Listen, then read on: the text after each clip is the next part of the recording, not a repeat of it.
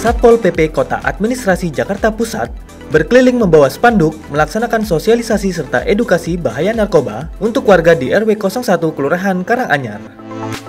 Kepala Seksi Perlindungan Masyarakat Satpol PP Jakarta Pusat, Ilian Adi Bayu mengatakan, sosialisasi ini juga mengingatkan masyarakat dan mengajak orang tua yang memiliki anak untuk memantaunya dalam pergaulan di lingkungan.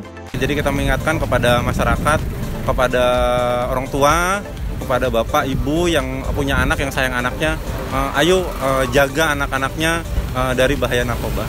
Sementara itu, Lurah Karanganyar Arif Lingga Pratama menyambut baik kegiatan edukasi dan sosialisasi ini. Kita selalu mengedukasi baik dari uh, tingkat RT maupun RW ya.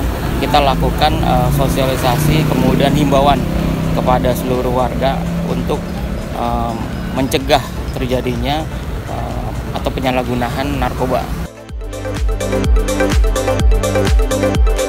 Tim Kominfotik Jakarta Pusat mengabarkan.